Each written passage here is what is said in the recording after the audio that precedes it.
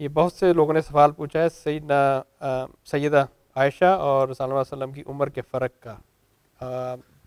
تو اس کی وضاحت کر دیں۔ پہلے میں ایک اصولی بات آپ کی خدمت میں عرض کر دوں اور وہ یہ کہ یہ جو سوال ہے، یہ کوئی قرآن مجید کا سوال نہیں ہے۔ یہ محمد الرسول اللہ علیہ وسلم کی قائم کردہ سنت کا سوال بھی نہیں ہے، یہ تاریخ کا سوال ہے۔ اور ہماری جو کچھ بھی تاریخ ہے ہر صاحب علم کو یہ جان لینا چاہیے کہ یہ تاریخ کسی معاصر مورخ کی لکھی ہوئی تاریخ نہیں ہے۔ یعنی رسول اللہ علیہ وسلم کے زمانے میں یا رسول اللہ علیہ وسلم کے بعد اسی نوے سال تک کوئی مورخ نہیں پیدا ہوا جس نے تاریخ لکھی ہو۔ زبانی روایات سے یہ تاریخ ایک صدی بعد لکھی جانی شروع ہوئی ہے۔ یہ زبانی روایات لوگوں میں پھیلی ہوئی تھیں۔ یہی روایات ہیں جن کو بعد میں ہمارے محدثین نے چھان پھٹک کے رسالت معاب صلی اللہ علیہ وسلم کے زمانے کے تاریخی ریکارڈ کو مرتب کیا۔ یہی روایات ہیں جن کو ہمارے مورخین نے بعد میں اپنی کتابوں میں لکھا۔ تو کم و بیش ایک صدی تک کسی مورخ نے قلم نہیں اٹھایا۔ معاصر مورخ جب لکھتا ہے تو وہ ہر چیز کی تنقید کرتا ہے، تحقیق کرتا ہے۔ وہ یہ جاننے کی کوشش کرتا ہے کہ واقعہ کیا ہے۔ کیونکہ اس کا ذہن مورخانہ ذہن ہوتا ہے۔ لوگ واقعات بیان کرتے ہیں، قصے بھی بن جاتے ہیں، کہانیاں بھی بن جاتی ہیں۔ انہی قصوں اور کہانیوں کے ذریعے سے بعد کے لوگوں نے کچھ تنقید کر کے یہ سارا مواد مرتب کیا ہے۔ تو اس میں یہ روایت عام ہو گئی کہ سیدہ عائشہ رضی اللہ عنہ کی عمر نکاح کے وقت چھ سال تھی اور رخصتی کے وقت نو سال تھی۔ میں نے اس پر میری کتاب مقامات میں آپ پڑھ سکتے ہیں۔ ایک آرٹیکل لکھ کے اس کے بارے میں کچھ سوالات سامنے رکھ دیے ہیں اور اسی مواد کی بنیاد پر رکھ دیے ہیں جو ہمارے مورخین نے زبانی روایتوں سے مرتب کیا ہے۔ میں آپ کے سامنے بھی وہ مواد رکھ دیتا ہوں اور پھر دیکھیے کہ کیا فی الواقع یہ بات معقول ہو سکتی ہے جو عام طور پر کہی جاتی ہے یا لکھی جاتی ہے یا مانی جاتی ہے۔ یہ سارا واقعہ جس طرح کے یہ حضرات بیان کرتے ہیں اور اگر کوئی شخص اس کی تحقیق کرنا چاہے تو جو تاریخ کی سب سے پہلی کتاب ہے وہ طبقات ابن سعد ہے۔ اس میں سیدہ عائشہ کے ترجمے میں اس کو دیکھ سکتا ہے۔ میں نے بھی اپنے آرٹیکل میں اس کے ضروری حصے نقل کر دیے ہیں۔ یہ واقعہ کیا ہے؟ یہ واقعہ یہ ہے کہ رسالت معاب صلی اللہ علیہ وسلم نے سب سے پہلے سیدہ خدیجہ سے شادی کی، ہر آدمی کو معلوم ہے۔ اس وقت آ حضرت صلی اللہ علیہ وسلم کی عمر پچیس سال کے قریب تھی۔ اور سیدہ کی عمر کے بارے میں بتایا جاتا ہے کہ وہ بیوہ تھیں، ان کے بچے بھی تھے۔ اڑتیس، چالیس مختلف روایات ہیں۔ ایک طویل عرصہ تک وہی آپ کے نکاح میں رہیں۔ یہاں تک کہ پچاس سال کی رسالت میں آپ صلی اللہ علیہ وسلم کی عمر ہو گئی یعنی پچیس سال کی رفاقت ایسے ہی رہی۔ وہ دنیا سے رخصت ہو گئی۔ ان سے دنیا سے رخصت ہونے کے بعد رسالت معاب صلی اللہ علیہ وسلم اپنے دعوتی کاموں میں بھی مصروف ہوتے تھے۔ اس زمانے میں کچھ معاش کی جد و جہد بھی کرنا پڑتی تھی اور گھر میں بچے بھی تھے۔ تو کچھ ایسی شکل بن گئی کہ جس میں ان ساری ذمہ داریوں میں بڑی آزردگی آپ پر تاری رہنے لگی۔ سیدہ کی رفاقت سے محرومی کا بھی غم تھا۔ بیان کیا جاتا ہے کہ ایک صحابیہ حضرت خولہ رسالت میں آپ صلی اللہ علیہ وسلم کو کہیں راستے میں ملی۔ اور انہوں نے یہ کہا کہ یا رسول اللہ، میں عرصے سے یہ دیکھ رہی ہوں کہ آپ کی طبیعت بہت آزردہ سی رہتی ہے اور آپ کچھ محتاج سے ہو کے رہ گئے ہیں۔ گھر در کو کوئی دیکھنے والا نہیں ہے، تو آپ شادی کیوں نہیں کر لیتے؟ تو رسالت میں آپ صلی اللہ علیہ وسلم نے یہ پوچھا کہ کیا کوئی رشتہ ہے؟ یعنی آپ کی عمر اس وقت پچاس سال کی ہو چکی تھی، گھر میں چھوٹے بچے بھی تھے۔ گھر در کی ذمہ داریوں کے لیے بھی ظاہر ہے کہ آدمی کو بیوی کی ضرورت ہوتی ہے، رفاقت کے لیے بھی بیوی کی ضرورت ہوتی ہے۔ یعنی بیوی صرف اسی لیے تو نہیں ہوتی کہ آپ نے اس سے جنسی تعلق قائم کرنا ہے، وہ آپ کی زندگی کی رفیق ہوتی ہے۔ تو اس خاتون نے یہ کہا کہ میں اس کی ضرورت محسوس کرتی ہوں کہ اب آپ کے لیے کوئی رفیق حیات ہونا چاہیے، آپ کے معاملات کو دیکھے، کوئی بچوں کو سنبھالے۔ تو رسالت میں آپ صلی اللہ علیہ وسلم نے یہ فرمایا کہ کیا کوئی رشتہ ہے؟ تو انہوں نے کہا کہ ہاں کنواری بھی ہے اور شوہر دیدہ بھی ہے، بیوہ بھی ہے۔ تو آپ نے پوچھا کنواری کون ہے؟ تو انہوں نے جواب دیا کہ وہ آپ کے بھائی ابو بکر صدیق کی بیٹی ہے، دوست بھی، اور آپ ان کو بھائی ہی سمجھتے تھے۔ اور آپ پر ایمان لانے والی خواتین میں سیدہ سودا بھی ہیں، جو کم و بیش پچاس سال کی ایک بوڑھی خاتون ہے اور بیوہ ہو چکی ہے۔ تو یہ اس نے کہا۔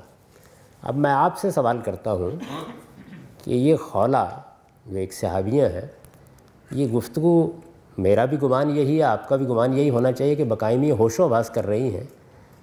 تو یہ کسی چھ سال کی بچی کا رشتہ پیش کریں گی یعنی آدمی کو شادی کی ضرورت کس لیے ہوتی ہے؟ جنسی تعلق کے لیے وہ قائم نہیں ہو سکتا۔ بچوں کی نگہداشت کے لیے۔ تو جو گھر میں بچے ہیں وہ ان کی عمر سے زیادہ ہیں۔ کیا رسالت میں آپ صلی اللہ علیہ وسلم کو وہ یہ پیشکش کر رہی ہیں کہ آپ بچے پہلے موجود ہیں، ایک بچی اور گھر میں لے آئیے۔ علم عقل کسی طرح بھی یہ باور نہیں کرتے۔ یہ سوال کیا انہوں نے۔ حضور نے فرمایا کہ جا کے پیغام دے کے دیکھو۔ ظاہر ہے کہ جب بات کی جائے گی تو یہی کہا جائے گا نا کہ پیغام دے کے دیکھ لو۔ یعنی رشتہ اگر منظور ہے تو واقعی تمہاری بات ٹھیک ہے۔ وہ سیدنا ابو بکر صدیق کے گھر گئی۔ اور جا کے ان کی اہلیہ سے کہا کہ میں یہ آپ کے پاس درخواست لے کے آئی ہوں۔ حضور نے یہ فرمایا ہے۔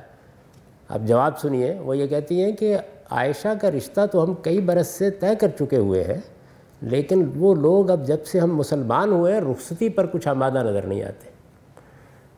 تو چھ سال کی بچی اگر وہ تھیں، تو اس کا مطلب ہے کہ رشتہ کوئی چار تین سال کی عمر میں طے کر دیا گیا ہوگا۔ کیا علم عقل اس کو باور کرتے ہیں کہ ایسا ہو سکتا ہے؟ اچھا پھر اس کے بعد جب انہوں نے یہ محسوس کیا کہ یہ صورتحال بن گئی ہے، تو وہ سیدہ سودا کے پاس چلی گئی۔